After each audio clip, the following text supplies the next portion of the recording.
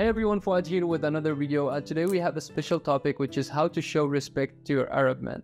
It was a suggestion by one of you and uh, actually it's funny because after I went through the things I will be discussing today, I realized that most of them can be perceived as respect by almost every man.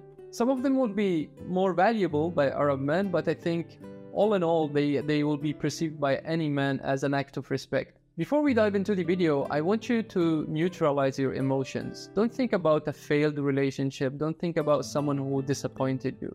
Not all men are twisted. And if your relationship right now lacks respect, it doesn't mean that respect cannot be cultivated. I want you to consider the points I will be addressing today with an open mind, with a positive mindset, with an intention to, to learn something new from them. And with that being said, let's dive into the video. First thing first is politeness and courtesy.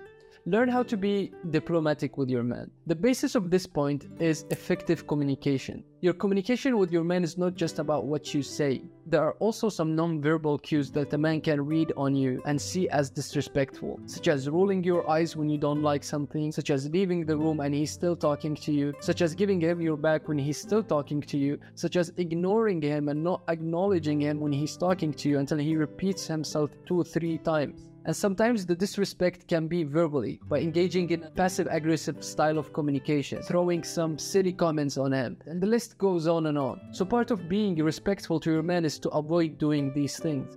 And I think that if both the man and the woman are mature enough, they can avoid a lot of problems and they can also maintain respect within the relationship. But sometimes it's life. The man can be maybe less mature than you, or he can be maybe more stressed than you.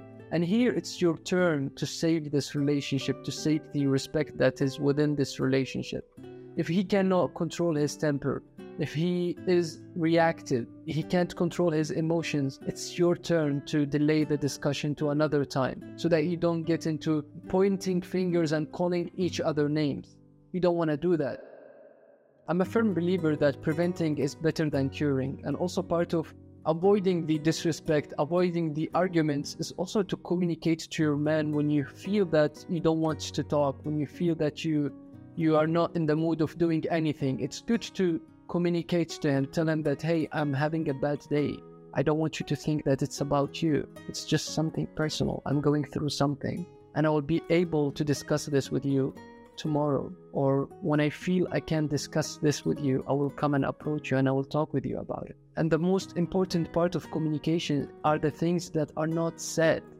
This gesture, the fact that you went to him and told him that you're feeling bad, so that you don't argue over a trivial thing when he comes and talks to you, is a gesture of respect, is an act of respect. It's a diplomatic way of telling him, don't break my head, don't give me headache today. I'm having enough today. Today, I'm not ready for you. So, preventing arguments this way is extremely effective and also shows the man how wise you are. And it also tells him that you need help. He'll be more likely to speak with you and to understand what you're going through. Another point is if you know that a point was made and it's not accurate, but at the same time it's not significant, don't prove him wrong. And this is in life in general, even your boss if he points at something that is not correct, you'd rather ask a question and make him understand himself that he is wrong than telling him, no, you are wrong. So with your man, you should be even more careful because he is your man. Be looking up to him. He should be your idol. He should be your guru. So don't tell him, no, you're wrong. If it's something important, yes, you can be more overt about telling him that you think it's otherwise. But if it's something insignificant, don't try to prove him wrong. Another act of respect is when you ask his opinion about something. If you ask him questions that you know he will have the answers to. So this is how you you be polite with your man. In case you want to give him advice, don't give him advice publicly. Don't give him advice in front of the kids. Don't give him advice in front of other people. Advice, a piece of advice should be always given privately because if it's not given privately, it's an attack. It's not a piece of advice, it's an attack. So, this is extremely important when you want to give a piece of advice or when you want to constructively criticize something about your man. The second point is show gratitude and avoid complaining. In the Arab household, we all know that a man is responsible of taking care of the house, providing for the family, and all that good stuff. But this should not overshadow the importance of showing gratitude and appreciation to the man when he is doing his job. However, what hurts the man the most is not when the woman doesn't show appreciation, but when she starts adding insult to injury by complaining about things he doesn't do enough. She forgets all the good stuff because of one thing that is missing. This is extremely painful when your woman is ungrateful. And she's not just ungrateful, but she is complaining. So always show appreciation. Appreciate the little things. And usually, human beings, they don't value the things they have until they lose them. And so we want here to be smart and value what we have and be mindful about them. Doesn't it make you feel good when someone comes to you and tell you, nice meal. I love the meal, it was delicious. The same thing is for the man. If you want to show him respect, appreciate the little things that he does and appreciate more the bigger things that he does. Don't approach things with a negative tone. Approach them with a constructive, positive tone instead. And also regarding complaining, avoid speaking poorly about him in front of your kids. You want to maintain his authority in the family, especially when it comes to kids. When he tells the kid to do something, he is his father. He knows he wants his benefit as well as you do. So when he tells them to do something, don't break his, his rules. Don't break his word. Because if you do so, even the kids will disrespect him. And if the kids disrespect the father, one day they will come and they will start to disrespect you as well. So avoid doing that and avoid bringing any topics that will put the father in any negative light in the eyes of the kids. Point number three what happens in the house remains in the house. Maintaining privacy and confidentiality within your relationship is crucial. Whatever that happens between you and your partner, whether good or bad, everything should remain within the confines of your home. In extreme cases where you cannot handle a conflict with him or an argument with him and you need a mediator, then okay, you can reach your parents maybe or person that you trust in your family but not your neighbor, not your friend. And I always stress the importance of not taking advice from friends because I know from experience that a lot of women are jealous of women who are doing well with their partner, especially single women. They secretly envy the relationship that the other woman has with her partner. I strongly say that because I have seen a lot of things when it comes to friends and how they give advice when it comes to relationships. And when you're gossiping with someone who doesn't have your best interest, things are not going to go in your favor because you are not doing well in your relationship and you are now vulnerable so you can digest bad ideas and implement them. So don't ever disclose what's happening in your house with these women who enjoys first of all drama and the, th- the second of all they will enjoy the bad news that you're already going to be on the same boat that they are. Don't ever put yourself in this situation. Choose wisely from whom you take advice. Choose wisely from whom you ask for help. The friend you told her to not tell anyone, she will also tell a friend to not tell anyone. And this will go in circles until the man hears that what is happening in the house is already known outside. Point number four be submissive. I know this is not a thing that many women want to do, but if you are with an Arab man, you need to be submissive. You need to respect his decision. You need to ask for his permission to do certain things. This is part of being with an Arab man. Be submissive, trust his decision. Even if he tells you to not do things that go against your desires, try to understand his reasons. You trusted him with yourself when you married him.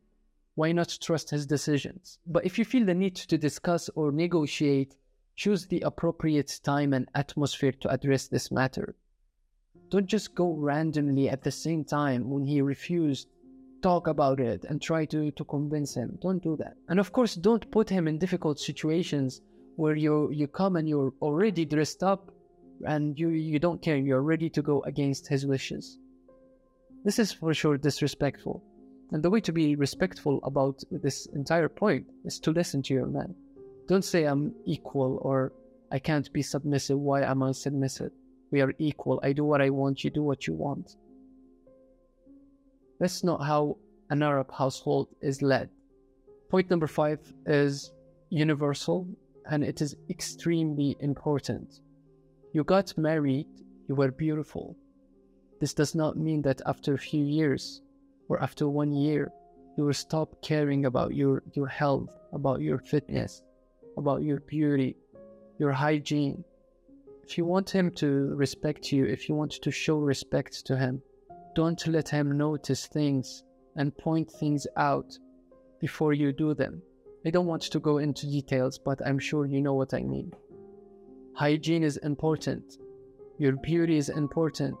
Your body is important. Take care of all of these things your physical beauty, your mental health as well. What you consume, the sugar you eat. Don't eat a lot of sugar, it affects your mental health, it affects your mood. Cut the sugar out. The same way you used to take care of yourself when you were single, take care of yourself when you are married.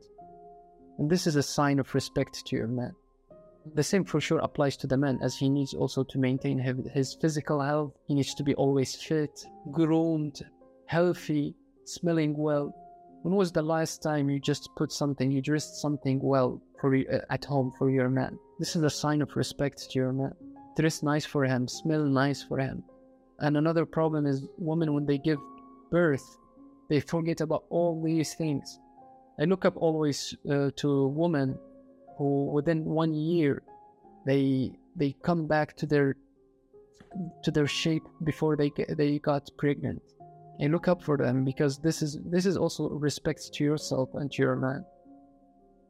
You giving birth to a baby does not mean that you'll become obese now on.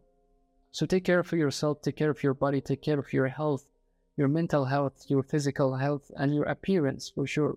Your hygiene is important. Point number six to show him respect, be available to him. And here, available, I mean the intimacy. There should be there some physical connection between you and him. You are his wife. And if you don't want him to look out of the marriage to fulfill his primal desires, then you will have to be available to him.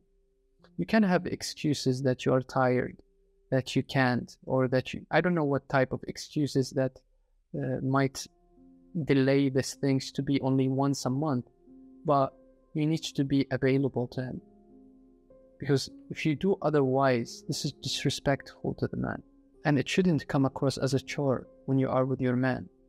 These moments are to strengthen the bond between you and him in the relationship. So prioritize your connection, prioritize your sexual experience with him. Even if you are tired or you have valid excuses, make a plan for it.